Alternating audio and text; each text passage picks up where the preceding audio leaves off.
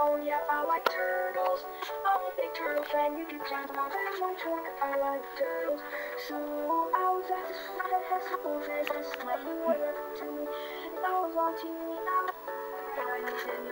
Yes, but then big fist hanging And she asked me how I was doing. I had no idea what to say.